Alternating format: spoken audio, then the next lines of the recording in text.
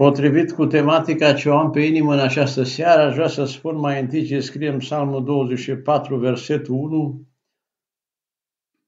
Al Domnului este pământul cu tot ce este pe el, lumea și cei ce o locuiesc.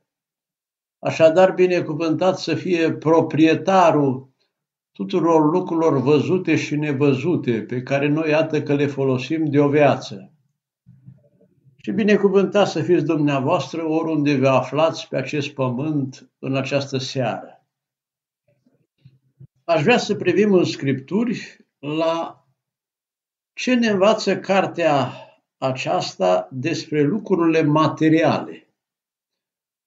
Să știți că în Biblie sunt sute de versete despre bani, despre avere și hai să fim uh, sinceri, realiști, în viață munca, activitățile economice, problemele pământești ne ocupă cel mai mult timp.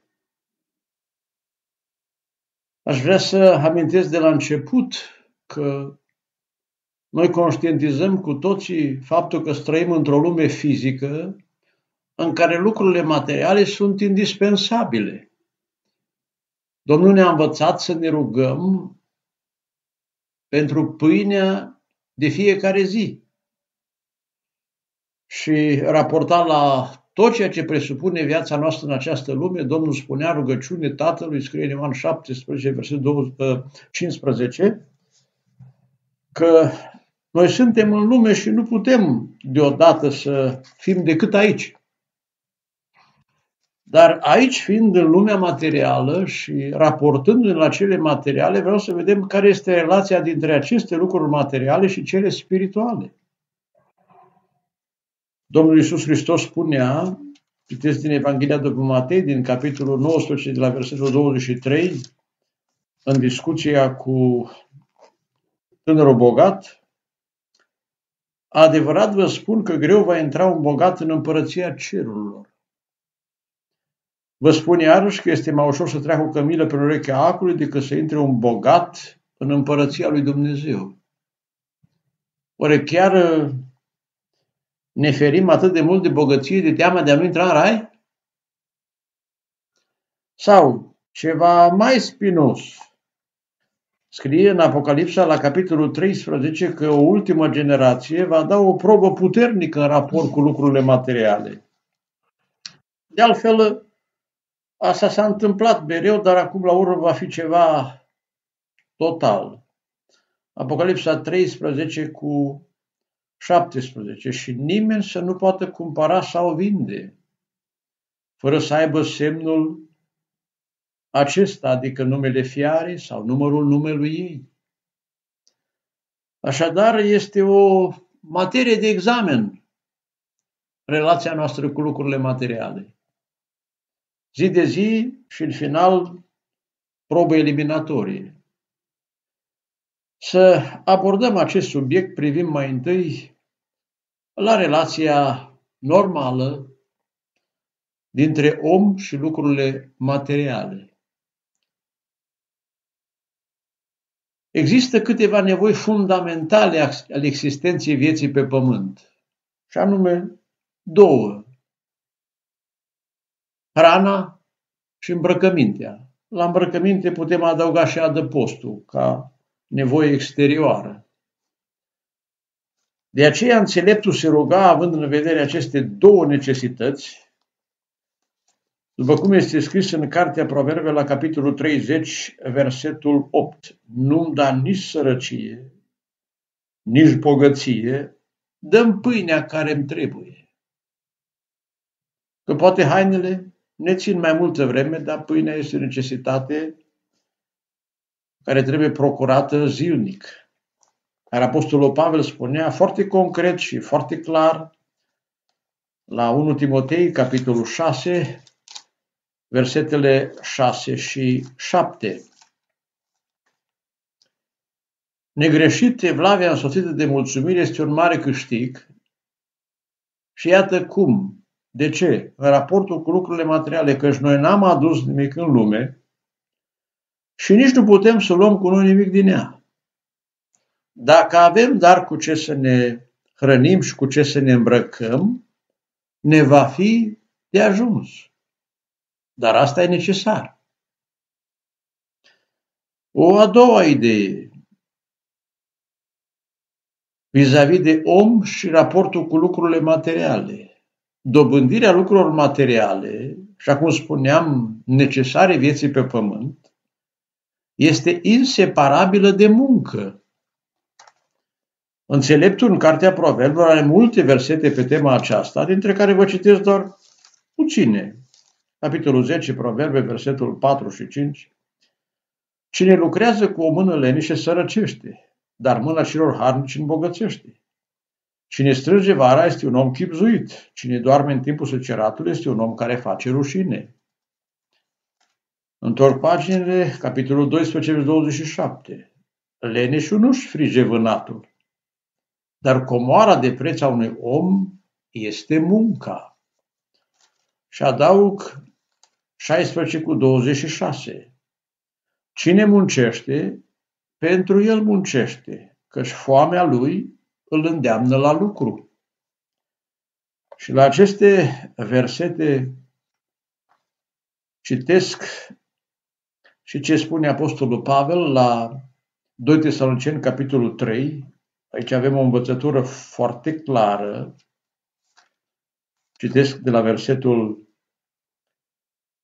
10. Căci când eram la voi vă spuneam lămurit, cine nu vrea să lucreze, nici să nu mănânce. Auzim însă că unii dintre voi trăiesc în neorânduială, nu lucrează nimic și se țin de nimicuri. Îndemn pe oamenii aceștia să-i sfătuim în Domnul nostru Isus Hristos, deci iată o învățătură pe tema ce vă prezint în această seară, să-și mănânce pâinea lucrând în liniște.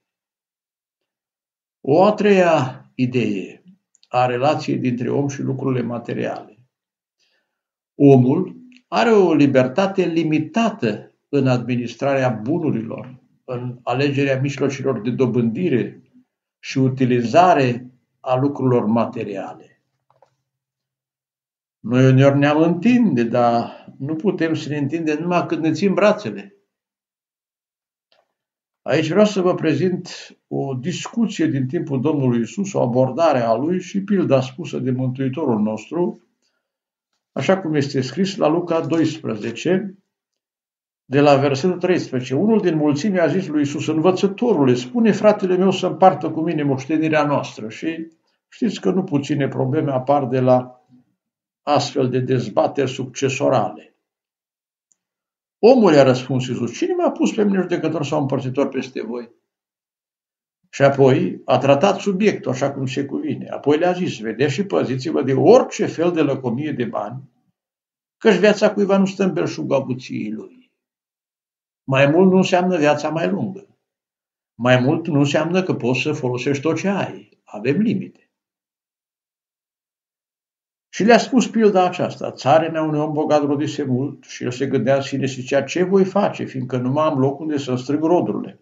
Iată, a zis el, ce voi face, îmi voi strica grănarele, voi zidi altele mai mari, acolo voi strânge toate rodurile și toate bunătățile mele și voi zice sufletele meu, suflete, ai multe bunătăți strânse pentru mulți ani, odihnește-te, mănâncă, bea și veselește-te. Ce proiect interesant, nu? De dorit, de râvnit. Dar Dumnezeu i-a zis, nu-i gândirea bună, nebunule. Chiar în noaptea aceasta se va cere înapoi sufletul și lucrurile pe care le-ai pregătit ale cui vor fi altă dezbatere succesorală. Tot așa este și cu ce ce adună comor pentru el și nu se îmbogățește față de Dumnezeu. Așadar să ne cunoaștem nevoile și să ne cunoaștem limitele se spune că o comunitate locală a ales niște oameni din uh, Consiliul ce reprezenta și i-a trimis la un om bogat care era proprietarul mai multor păduri să le dea lemn să-și construiască o biserică. La care el, fiind un om neevlavios, i-a refuzat direct Și unul dintre bătrâni cu chipzuință i-a zis, văd că aveți o pădure frumoasă de brad. Dar am o întrebare, îmi spuneți care e bradul dumneavoastră? Și le cum să spun care e bradul meu? Toți bradii sa mei. Și bătrânul a zis, nu, eu am întrebat de bradul care o să-l folosiți dumneavoastră, din care o să vă confecționeze coșciugul. Că numai acela e a dumneavoastră, ceilalți îi lăsați. Un brad va ajunge pentru căsuță. Bogatul n-am avut liniște în noaptea aceea și pe a doua zi a chemat înapoi și a zis, înseamnă că aveți și voi braza aici în pădurea mea și eu n-am știut. Dacă nu poate fi toată pădurea noastră, tot câmpul al nostru, avem limite. Și o a patra și ultimă idee aici, în relația dintre om și lucrurile materiale, în uh, etapele și organizația, organizarea vieții terestre, omul are responsabilitatea îngrijirii celor din jur, în primul rând a familiei, dar uneori trebuie să avem grijă și cotă parte de societatea în care trăim. În uh, Proverbe, carte la care mă întorc, scrie în capitolul 19, versetul 14, uh, Casa și averea le moștenim de la părinți. Asta nu înseamnă doar că dacă el le mai folosi, ne rămân nouă. Pentru că Apostolul Pavel scria, citesc din 2 Corinteni, din uh, capitolul 12, versetul 14, partea a doua, cei drept, nu copiii sunt datori să agonisească pentru părinții lor, ci părinții pentru copiii lor, asta în prima fază, că așa e normal și natural. Copiii vin în lume neajutorați și noi ca părinți a trebuit să avem grijă de ei. Da? Se întoarce roata cu vremea. Și copiii devin oameni mari și părinții devin bătrâni, uneori slabi, plini de neputințe. Și atunci spune Apostolul, citesc din 1 Timotei, capitolul 5, că trebuie să aibă grijă de ei cei care au beneficiat de grija părinților. 1 Timotei 5 cu 4, dacă o văd oare copii de la, sau poți de la copii, aceștia se deprinde să fie vlavioși întâi față de cei din casa lor, să răsplătească ostenelele părinților, căci lucrul acesta este plăcut înaintea lui Dumnezeu. Și versetul 8. Dacă nu poartă cineva grijă de ai lui. Deci iată că viața noastră spirituală nu poate fi evaluată fără felul în care noi ne raportăm la lucrurile materiale și la cei din jurul nostru, prin lucrurile materiale. Dacă nu poartă cineva grijă de ai lui, și mai ales de cei din casa lui s-a lepădat de credință și este mai rău decât un necredincios. Și versetul 16 este în aceeași idee, dacă vreun credincios, fie bărbat, fie femeie, are văduve în familie, să le ajute. E normal să fie așa. Sper că dumneavoastră pe acolo pe unde sunteți vă mai gândiți la bătrânii ce aveți pe țară sau la alți necăjiți în lumea aceasta. Am citit sau am auzit undeva, nu mai știu exact, dar mi s-a părut interesant un episod se spune că doi frați de corp, cred și de credință, aveau uh, cultivat grâu pe două tarlale vecine. Și a fost un an mai slab, fiecare familie era în nevoie și unul dintre ei s-a gândit noaptea, pentru că abia strânseseră grâul în snopi, să se ducă să mai mute de la el în tarlaua fratelui său, că doar nu-i numărase ei cu atâta atenție.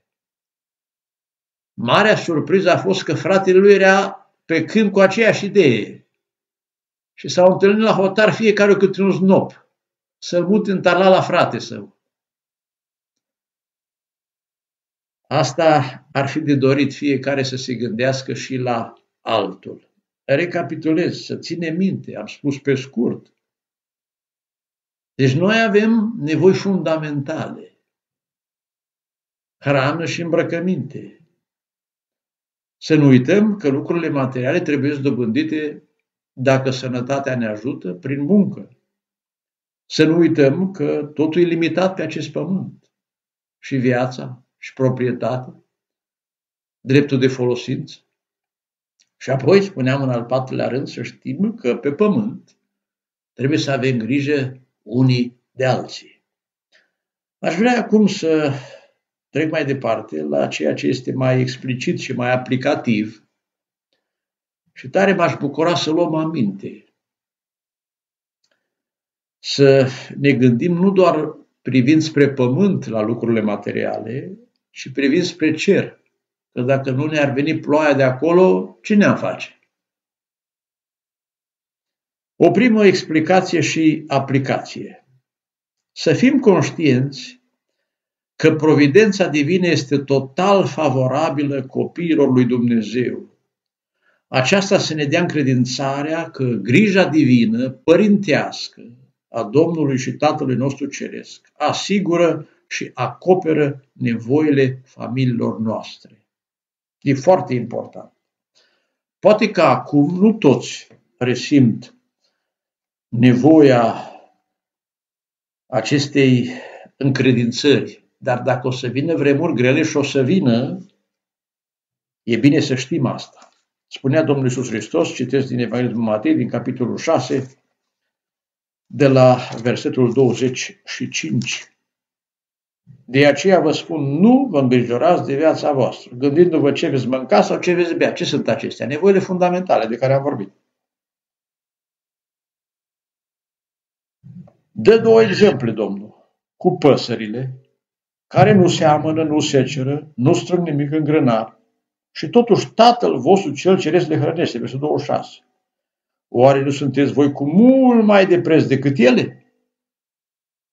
Apoi, alt exemplu, versetul 28. Uitați-vă că băgați de seamă cum cresc crinii. Ei sunt uh, prezentați în raport cu nevoia noastră de a ne îmbrăca. Nu torc, nu țes, n-au industrie. Și totuși, vă spun că nici chiar Solomon, toată slavă, n-a fost îmbrăcat ca unul din ei. Deci dacă la plante le face Domnul petale și înveliș după nevoie la fiecare fruct, la fiecare legumă, Așa că dacă astfel îmbracă Dumnezeu iarba de pe câmp, care astăzi este, iar mâine va fi aruncat în cuptor, nu va îmbrăca El cu mult mai mult pe voi, puțin credincioșilor. Concluzia, nu vă îngrijorați zicând ce vom mânca, sau ce vom bea, sau cu cine vom îmbrăca. Fiindcă toate aceste lucruri neamurile lumii le caută. Ei n-au tată. Noi avem tată. Nu suntem orfani, tatăl nostru este în cer și ne poartă de grijă. Tatăl vostru cel ceresc știe că aveți trebuință de ele. Și în Evrei 13, versetul 5 și 6 este scris foarte clar. Asta, repet, să ne amintim în vremuri de nevoie, Să nu fiți iubitori de bani, mulțumiți-vă cu ce aveți, că cel însuși a zis, e promisiune fermă. Nici de cum n-am să te las, cu niciun chip nu te voi părăsi, așa că putem zice plin de încredere, Domnul este ajutorul meu, nu mă voi teme. Amin. Și în privința asta vă fac o urare din Filipeni 4, versetul 19, adresată mai întâi de Apostolul Pavel bisericii din Filip, biserica lui de suflet. Și Dumnezeul meu să îngrijească toate trebuințele voastre, după bogăția sa, în slavă, în Isus Hristos. Așadar, să fim încredințați că Dumnezeul nostru îngrijește de noi, rețineți expresia asta interesantă, după bogăția sa. Oricât am fi noi de săraci, tata e bogat. Și un tată bun, cel mai bun tată, Domnul spunea că în raport cu Dumnezeu, noi ca tați de pe pământ suntem răi. Deci cu un tată așa bun și așa bogat, niciun stres. Numai să ne fie tată. Ca să putem spune pe drept rugăciunea Tatăl nostru, Tată, dă-ne și astăzi pâine. O a doua explicație și aplicație. Binecuvântarea Domnului este responsabilă de volumul veniturilor, averii, cuiva de la un minim necesar, și acum am spus că ne poartă de grijă, până la diferite măsuri ale bogăției, în funcție de planul lui Dumnezeu cu fiecare om, cu fiecare familie. Știți, scrie în Genesa despre patriarh că au fost foarte bogați. Dumnezeu i-a binecuvântat, că au strâns rod însutit. Apoi a spus Dumnezeu evreilor, scrie de Turnom capitolul 8, că le va da o țară cu de toate. Și le prezintă pomii ce vor avea, casele ce le vor găsi și le vor folosi. Apoi să ne amintim ce îi spune Dumnezeu lui Solomon. N-ai cerut avere, îți dau eu. Cum nu au alții în vremea aceasta. Dar nu la toți le-a promis Dumnezeu așa ceva. În Proverbe, în capitolul 22, versetul 2, Solomon, bogatul acesta de care vorbeam, constata. Bogatul și săracul se întâlnesc. Domnul i-a făcut și pe unul și pe altul. Așa că, oarecum e bine să știm pe care listă figurăm. Pe a bogaților sau pe a săracilor. Cu siguranță bogații n-ar vrea să treacă pe lista cealaltă, poate între săraci ar vrea să treacă în tabăra celorlalți, dar ar fi mai bine să rămână undeva între, cum se ruga înțeleptul, Doamne, să nu-mi dai bogăție, nu cumva să uit de tine, să nu mai simt nevoia în fiecare zi ca tu să-mi dai pâinea cea de toate zilele. Tot din cartea lui Solomon Eclesiastul citesc 5 cu 19 în aceeași idee, dar dacă a dat Dumnezeu cuiva avere și bogății. Cum voi aminti îndată că aici se amestecă și satana, dar acum eu vorbesc despre ce face Dumnezeu. Ce trebuie să facă cineva dacă i-a dat Dumnezeu mai mult și a îngăduit să mănânce în ele, să-și ia partea lui din ele, să se bucure și să știe că acesta este un dar de la Dumnezeu. Mulțumim așadar Domnului pentru ceea ce ne dă, mai puțin sau mai mult, dar nu este nimeni sub limita existenței. Niciun sfânt n-a murit de foame, nici de sete. Că au răbdat de foame și de sete este altceva, cum spuneam eu într-o zi la băieții noștri, că am încercat să se obișnuiesc de mici cu postul. Voi cei foamea știți, dar cei foame te nu știți. Cum îmi spunea unul într-o zi, așa, nu dintre ei mei, nu mai știu de unde am întâlnit, zice, mor de foame. Zic, stai liniștit că înainte de a muri de foame trebuie să slăbești. Așa grăsus nu poți muri de, de foame. Asta doar că ți este foame. Dar Dumnezeu nu îngăduie ca cei sfinți să moară de foame. Au murit ca martiri, dar nu de foame. Că Dumnezeu s-a angajat să ne poarte de grijă, slăvit să fie în veci.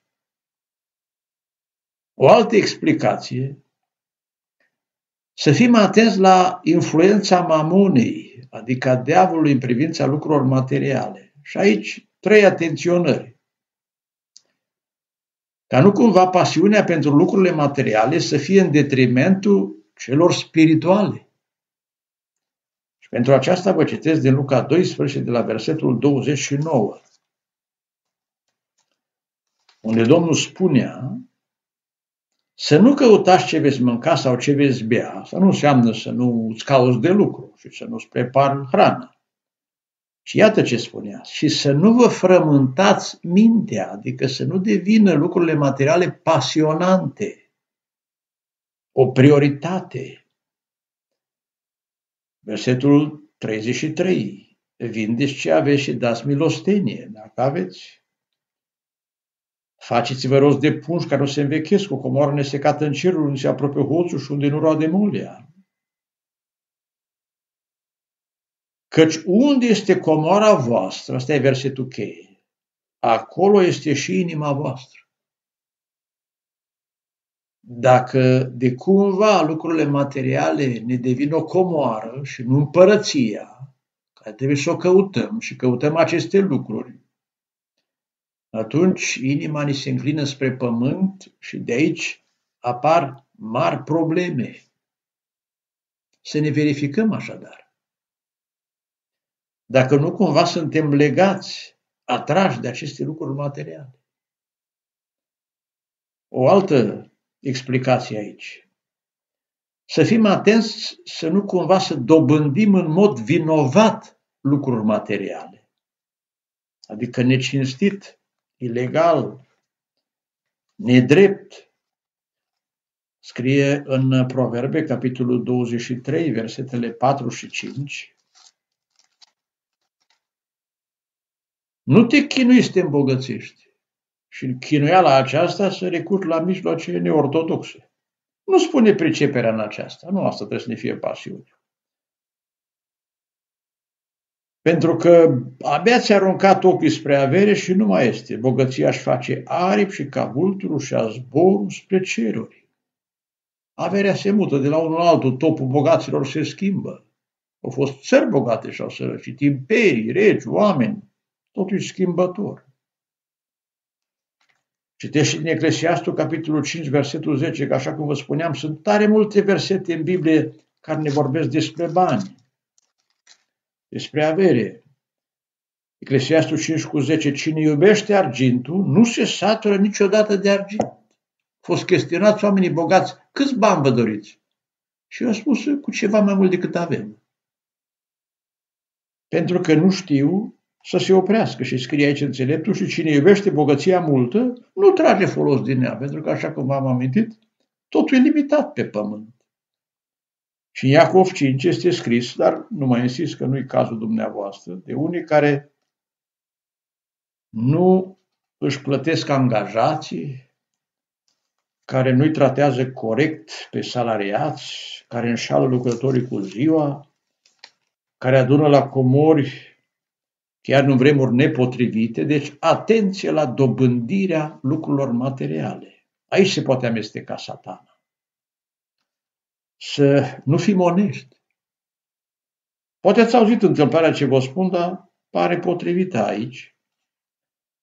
Se spune că un evreu a plecat, și acum sunteți plecați dumneavoastră, unii la muncă în altă parte, și după ce a câștigat o sumă de bani, a trimis-o prin fratele său sau să ajungă întâi la fratele său care să îi dea soției banii necesari.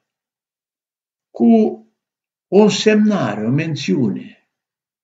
Fratele meu, dă soției mele cât vrei tu, iar restul păstrează pentru tine. I-a sunat bine asta. Și-a dat cumnatei lui, deci soției fratelui său, o sumă mai mică decât cea pe care și-a oprit-o lui. Nenorocirea a fost prin întâmplarea că cel plecat a murit și văduva văzând numai câți bani a rămas ea, s-a aflat cât au rămas la cumnatul ei, s-a dus la rabin și a spus, nu-i corect. E o văduvă, e om sănătos, bărbat, să-și oprească atâția bani. Celălalt spunea, așa a lăsat frate, mi-a scris. Rabinul s-a uitat, a adu bani aici. Și a zis, pune bani aici pe masă, cum a zis fratele tău. Toți. Da, și acum citește. Fratele meu, dă soției mele cât vrei tu, ia deoparte pe cât ai vrut tu. Iar restul păstrează pentru tine. Și zice omul, nu așa! Ba, spune rabinul, dă soției tale, soției mele, a zis omul, cât vrei tu, adică ea ce ți-o priție. Cât ai vrea tu să-i dai ei. Și omul zice, de eu n-am citit așa. Vezi, dacă citești în mod egoist, nici nu poți citi corect. Dă soției mele cât vrei tu și dă-i banii cât ți-ai oprit tu. Și beata văduvă a fost mulțumită că rabinul a făcut dreptate corectând interpretarea greșită a cumnatului ei. Și o a treia mențiune aici, tot cu atenționare, ca nu cumva mamona să-și vâre influența acolo și, și mâna lui, atenție la folosirea păcătoasă a posesiunilor și la cheltuirea greșită a banilor. Spunea Domnul în pilda cu semănătorul, vă citesc din Luca 8, versetul 14, Sămânța care a căzut între spini închipuiește pe aceea care, după ce au auzit cuvântul, își văd drum și îl lasă să fie înnăbușit de griji, bogății și încă ceva. Plăcerile vieții acesteia. Și astea sunt toate cu cheltuieli. Și vă mai dau un text cu mare greutate în scripturi pe teme materiale. 1 Timotei 6. Asta atenție pentru cei ce v-ați dori bani, da dacă nu știți să-i administrați și păcătuiți.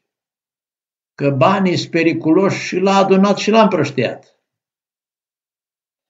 1 Timotei 6, versetul 9. Cei ce vor să se îmbogățească, și nu-i de dorit asta, din potrivă cad în ispită, în laț, în multe pofte nesăbuite și vătămătoare care cufundă pe oameni în prăpăt și perdare. Iată de ce intră bogații greu în rai.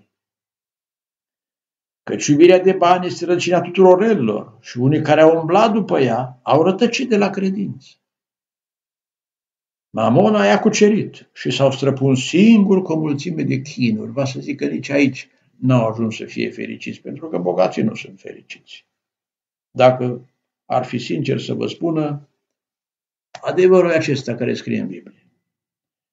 Și o a patra explicație și aplicație contribuție la lucrarea sfântă, la ajutorarea celor săraci și orice altă dăruire este o pasiune pentru orice om care a înțeles fluxul lucrurilor materiale. La ce îi spun fluxul lucrurilor materiale? Să înțelegem că proprietatea lui Dumnezeu, că El ne dă și noi trebuie să știm ce trebuie să oprească la noi și trebuie să dăm la alții. Regele David este un exemplu frumos, vă citesc din 1 Cronici 29, atât în uh, dăruirea pentru casa Domnului, cât și în gândirea lui referitor la lucrurile materiale. Eu acum spun pe scurt, dar v-aș indica să reveniți când aveți vreme asupra acestui text. Scrie în Cronici 29, de versetul 2, mi-am întrebuințat toate puterile. Are lucru să pregătesc pentru casa Dumnezeului meu și prezintă materialele. Versetul 3. Mai mult, în dragostea mea pentru casa Dumnezeului meu dau. Și a dat în plus. El știa exact ce cantități trebuie, ce obiecte de cult trebuie acolo, cât necesită construcția, dar a dat în plus să fie în visterie acolo. Apoi scrie de la versetul 9, poporul s-a bucurat de darurile lor de bunăvoie, că și le dădeau cu dragă inimă Domnului. Și împăratul David de asemenea s-a bucurat mult, că un darnic se bucură și când sunt alții darnici. Și acum rugăciunea de care spuneam de la versetul 11. A ta este, Doamne, mărirea, puterea și măreția, veșnicia și slava, că tot ce este în cer și pe pământ și în buzunarele mele și între ale dumneavoastră și în grădina și în casa noastră este al tău a ta, Doamne, este domnia, că Tu te înalți ca un stăpân mai pe sus de orice. De la Tine vine bogăția și slava, Tu stăpânești peste tot, în mâna Ta este tăria și puterea și mâna Ta poate să mărească, să întărească toate lucrurile. Versetul 14. Acum ce sunt eu? Ce este poporul meu ca să-ți putem aduce darul de bunăvoie? Totul vine de la Tine și din mâna Ta primim ce-ți aduce. Mâna Ta suntem niște străini și locuitori ca toți părinții noștri. Zilele noastre pe pământ sunt ca umbra, fără nicio nădejde. Doamne Dumnezeu nostru, din mâna Ta vin toate aceste bogății pe care le-am pregătit ca să-ți dim o casă. Ție numele Tău celui Sfânt și ale Tale sunt toate. Știu, Dumnezeule, că Tu cercetezi inima și că iubești curăția de inimă, de aceea ți-am adus aceste daruri de bunăvoie în curăția inimii mele și am văzut acum cu bucurie pe poporul Tău care se află aici, aducându-ți de bunăvoie darurile Lui. O, de s-ar putea spune așa despre noi toți. Doamne Dumnezeu, părinții noștri Avram, Isaac și Israel, ține tot din inima poporului tău aceste porniri și aceste gânduri și întărește inima în tine. Deci iată ce atitudine frumoasă a regelui și a poporului. În Galateni, capitolul 9, apostolul, uh, capitolul 6, versetul 9 și 10, apostolul îndemna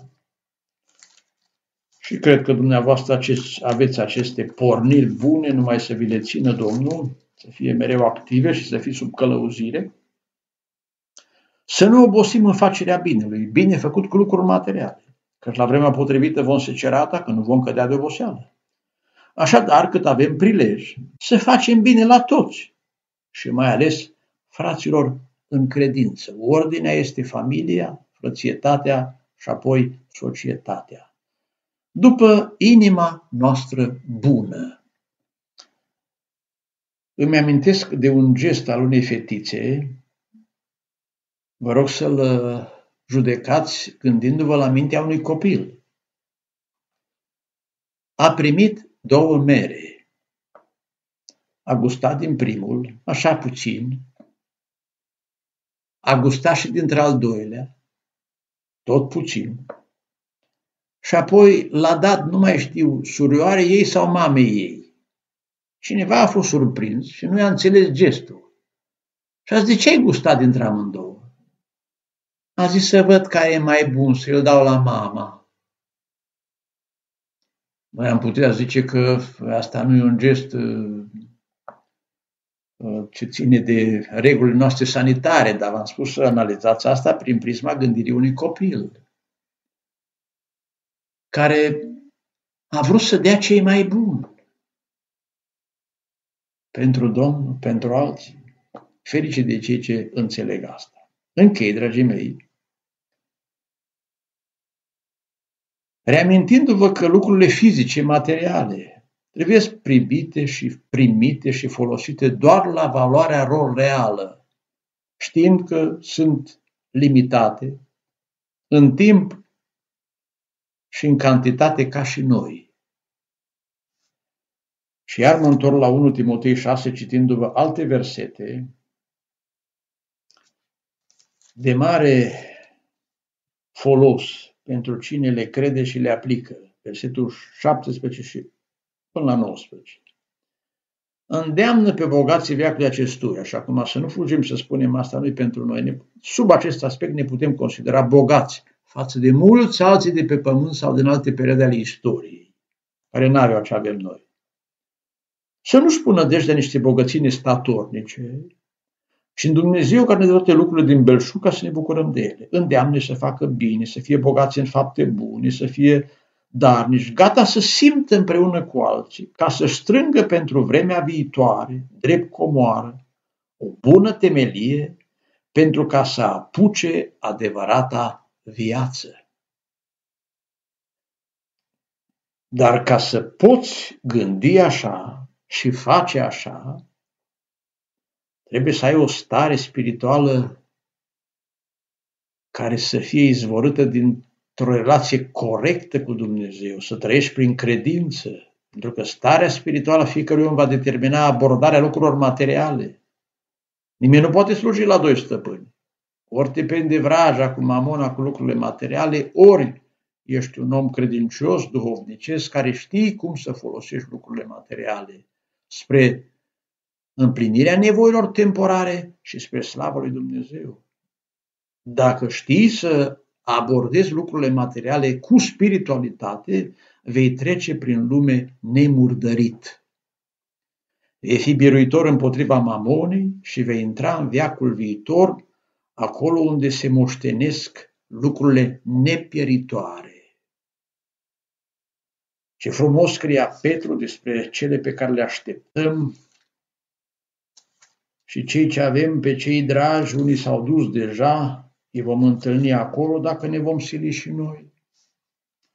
Și cum obișnuiesc eu să spun că dacă vrea cineva să aibă acolo ceva, trebuie să trimită înainte. Când o să vină Domnul, o să fie numai transport de persoane, nu și de mărfuri. Dacă avem de dat ceva, să trimitem înainte. 1 Petru 1 cu 3 la 5. Binecuvântat să fie Dumnezeu Tatăl Domnului nostru Isus Hristos, care după îndurarea sa cea mare ne-a născut din nou prin învierea lui Isus Hristos din moș la o nădejde vie, la o moștenire nestricăcioasă și neîntinată și care nu se poate vesteji, păstrată în cerul pentru voi. Voi sunteți păziți de puterea lui Dumnezeu prin credință pentru mântuirea, gata să fie descoperită în vremurile de apoi. Acolo e adevărata viață, aceea e adevărata moștenire. Cei aici, întorc paginile până la 1 Ioan și vă citesc din capitolul 2, de la versetul 15. Nu iubiți lumea, nici lucrurile din lume, care acestea materiale, trecătoare. Versetul 17. Și lumea și pofta ei trece. Dar cine face voia lui Dumnezeu rămâne în viață. Să vă dea Domnul pe pământ tot ce are în plan, dar să rugați să vă dea moștenirea asta. Se spune că discuta odată un bogat cu un sărac. Se cunoșteau mai de mult și bogatul mai îndrăzneț îi zice săracului, măi, m-am tot gândit la tine, de ce nu te înveți cumva, cum spune românul, cum te poți mulțumi în sărăcia ta? Și săracul spune, pentru mine e ceva obișnuit, așa au fost și părinții mei, așa am crescut, am avut cele necesare, dar n-am avut mult mai mult. Și continuă bogatul spunând, eu n-aș putea trăi așa. La care săracul, când prinzând curaj, zice, da, și eu m-am gândit la dumneata. Știindu-te câte ai aici, și pe vale și pe deal, cum poți trăi numai cu acestea fără să ai ceva în cer? M-am tot gândit cum nu te gândești la veșnicie. Nu știu cât o fi rămas bogatul de dus pe gânduri, dacă mai putea conștientiza sau era înțepenit și înmărmurit în cele materiale. Dar eu mă gândesc că acum în final dacă eu, spunându-vă aceste lucruri, mi-am reînnoit mie gândirea biblică despre lucrurile materiale, oare dumneavoastră v-a ajutat ca să vă faceți o revizie, să vă corectați la nevoie în așa fel încât să gândim corect și să putem trece, cum vă spuneam, prin lumea aceasta, folosind în parte, în mod limitat, lucrurile materiale, dar fără să zăbovim de la atingerea țintei, de la alergarea care ne stă înainte. Așadar să Mulțumim Domnului pentru ce ne-a dat și să așteptăm cu încredere ceea ce are în plan de mult să ne dea veșnicia viitoare, adevăratele valori statornice. Până atunci și până acolo, Dumnezeu să vă binecuvinteze pe toți cu tot ce aveți nevoie. Amin.